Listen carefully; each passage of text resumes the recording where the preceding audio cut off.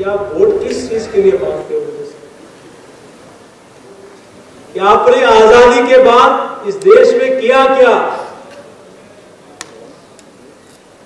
सिवाय भ्रष्टाचार के, सिवाय देश को बांटने के, सिवाय इस देश में खाई लगाने के, सिवाय इस देश में लोगों को लड़ाने के लिए, सिवाय इस देश में फूट डालो, राज करो।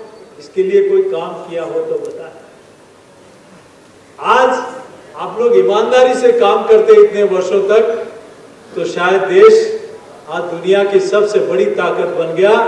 अरे, आप लोग थोड़ी ज्ञान लो तो नरेंद्र मोदी जी से लो तो साठ साल में आप नहीं कर पाए, और नरेंद्र मोदी जी ने दो साल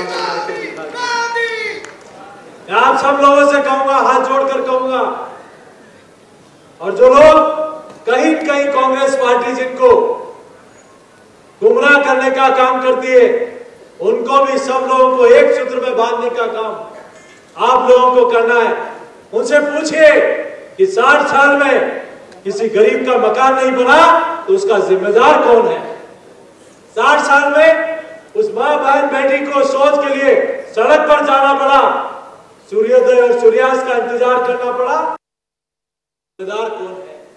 आज साठ साल में सड़क नहीं पहुँची तो उसका जिम्मेदार कौन है? साठ वर्षों के बाद अनेक गाँव ढाणियों में बिजली नहीं पहुँची तो उसका जिम्मेदार कौन है? साठ साल के बाद कोई बारह रुपए में बीमे का योजना आप लोग नहीं बना सके, उसका जिम्मेदार कौन है?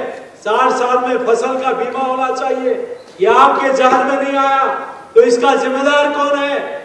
साठ साल में किसान को क्रेडिट कार्ड मिले, ये आपके जहर में नहीं आया तो इसका जिम्मेदार कौन है?